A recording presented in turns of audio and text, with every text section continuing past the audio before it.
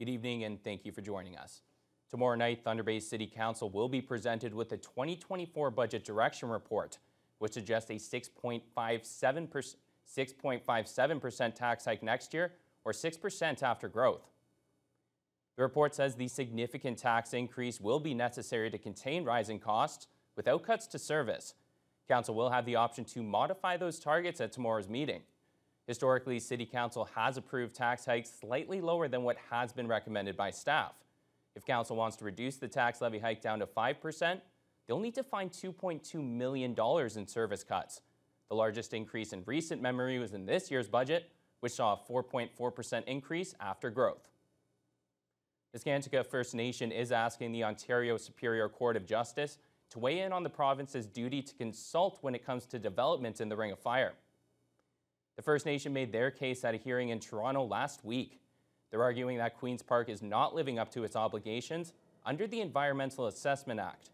Chief Christopher Moonias says the Ford government is pushing ahead with road and resource development in the Ring of Fire without proper consultation or the free, prior, and informed consent of the people of Neskantaga.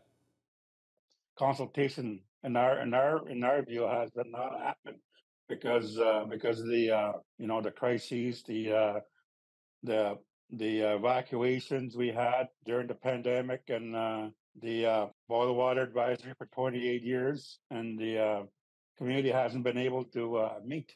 Consent hasn't happened, and it will not happen until we're properly consulted and accommodated. A spokesperson for the Ministry of Natural Resources and Forestry declined to comment, saying it would be inappropriate while the matter is before the courts. Marina Park was filled with color and cheer for its 14th annual Festival of Colors. Attendees were brought together to celebrate Indian culture, throw their worries away, and fill the skies with colors of with clouds of bright colors. Jessica Clement reports. Two,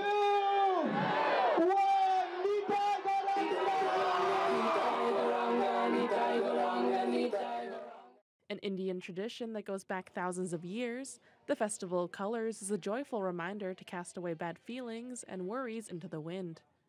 Hundreds came out to this year's event to enjoy the music, dancing, and the chance to cover their families, friends, neighbors, and themselves in brightly colored powder.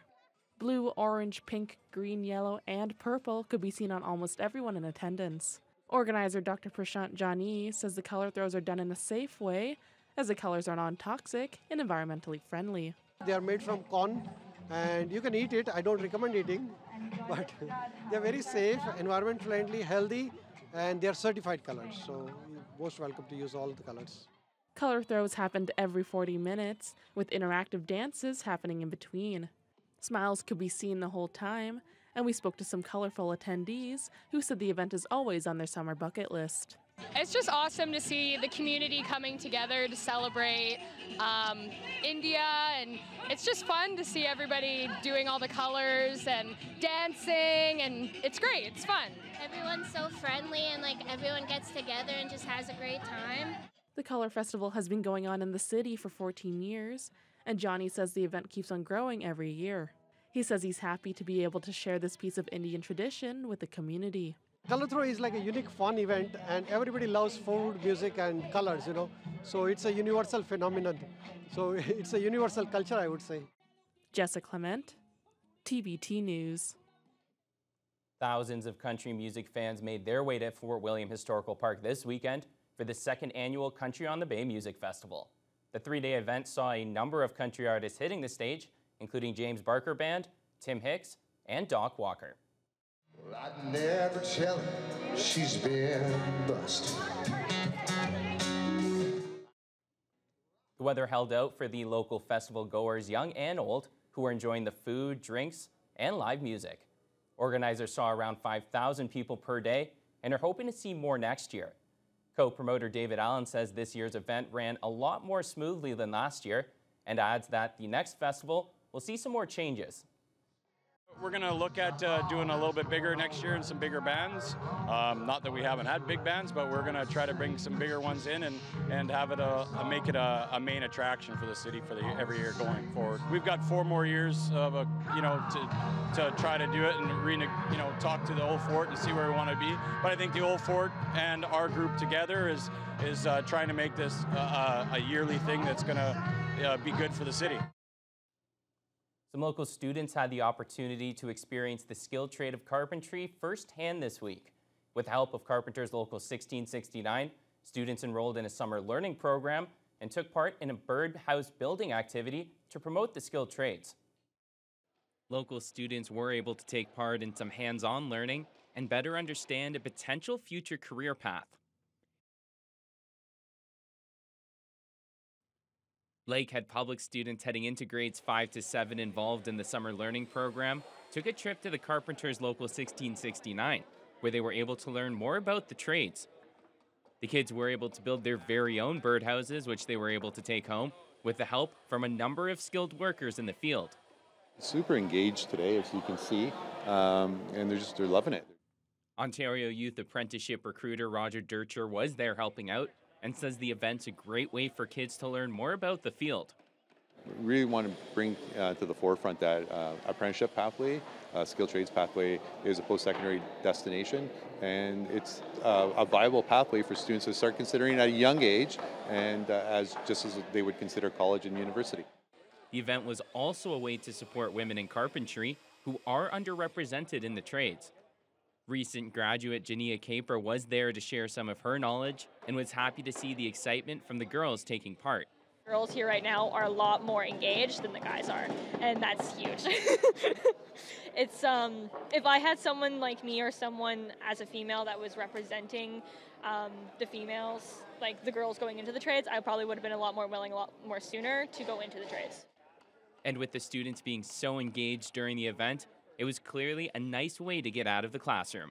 It's, it's fun here because you get to skip school, and I like using the power tools because I always use them a lot.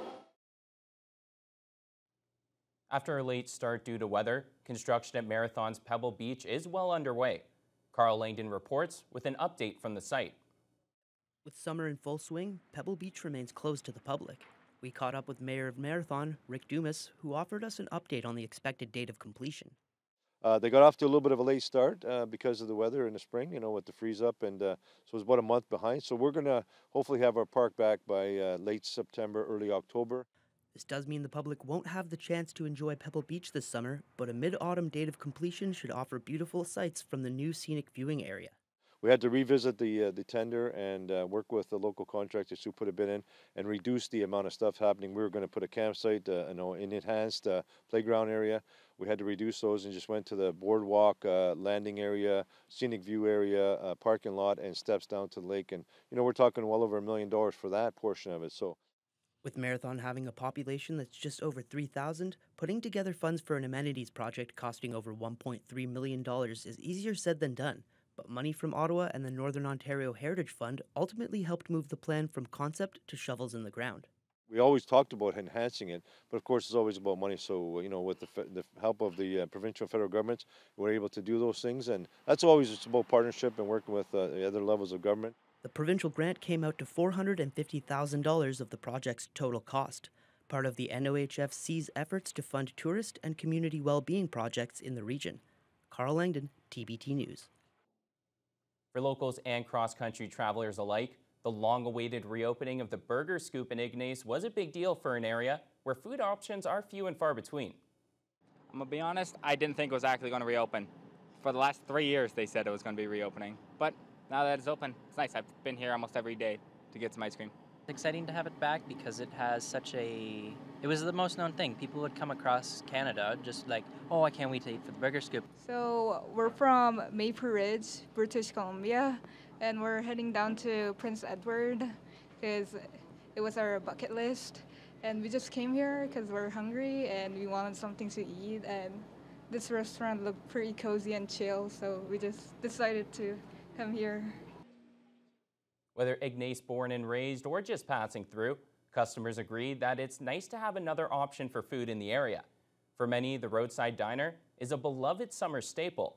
That includes new owner Miriam Cook, who fell in love with the burger scoop on her frequent trips between her home in Thunder Bay and her community of Slate Falls Nation. I've stopped here many, many times over the years since it's been open. Um, since I can remember, I've always stopped in here for the burgers and the ice cream. I officially bought it last summer. It was about July. Uh, the place had been closed for about three years, and it's taken a lot of work to open up. Cook says they're still working from the original recipe book and that she's gotten great feedback from diners who have been keeping them busy since the reopening.